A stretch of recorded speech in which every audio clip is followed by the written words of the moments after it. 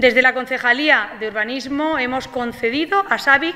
una licencia para la construcción de una nueva caldera de eficiencia energética en su planta de cogeneración de la Aljorra. La nueva caldera va a servir para sustituir a la que tienen actualmente, lo que va a suponer mejoras en la eficiencia energética de la planta, reduciendo considerablemente el consumo de gas natural y, por tanto, las emisiones de CO2 a la atmósfera. El proyecto para el que hemos eh, concedido la licencia incluye también la construcción de un vial de acceso y también un nuevo edificio que va a albergar los cuadros eléctricos y el sistema de control de la planta. El presupuesto de ejecución material de estos trabajos asciende a 3 millones y medio de euros y cuenta con un plazo de eh, ejecución de un año aproximadamente.